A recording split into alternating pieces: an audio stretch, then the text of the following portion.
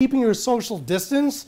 Well, meteorologist Alex Calamia has got a way that maybe gardening might be your cup of tea. Coronavirus has us socially distancing ourselves, but that doesn't mean that we need to be distant from nature.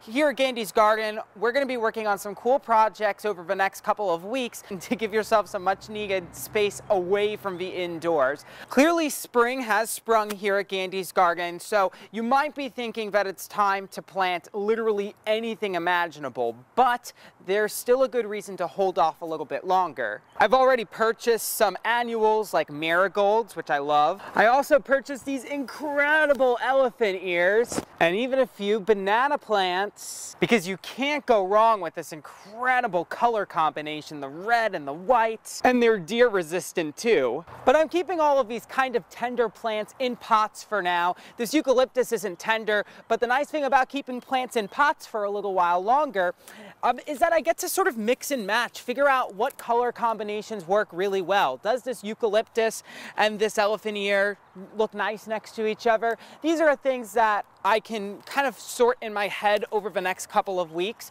So I definitely advise against rush planting, but there are a couple of things you can plant right now that are really fast growing and can even handle a light frost if Mother Nature has a few tricks up her sleeve. Uh, this lettuce, for example, fantastic. The big lettuce that's behind me has actually been in this garden bed since like October. It survived the winter without any problems. Um, and this new lettuce will be ready for picking in a couple of weeks. So before the kids are even able to go back to class, this will be ready for dinner. Kale, another great one too. These plants won't survive the summer, but they're great for that transition period and they're really fun to plant with the kids because they grow so fast. These I planted back in February. They're peas. Peas are so fun to grow because they pop up really quickly. I started broccoli and spinach from seeds, and those are also doing really well. That can't handle the summer heat here, but they're great to plant now because they'll just shoot up very quickly and they will grow fast. So you get that instant gratification almost,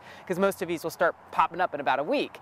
And if you don't have a lot to plant right now, you can also weed your yard. And if you want to spend a couple of dollars on fertilizer, these plants will grow that much faster. We're an organic garden here at Gandy's Garden, and so I'm using fish fertilizer and Jesus, that smells gnarly, but you know what? It's going to make the plants grow better, and uh, I'm going to have to wash my hands for a whole different reason after this. We're on your side, and we've got lots of different projects here at Gandy's Garden at News 19 that you can do without going outside and interacting with people. I'm meteorologist Alex Calamia. Happy gardening. Stay safe.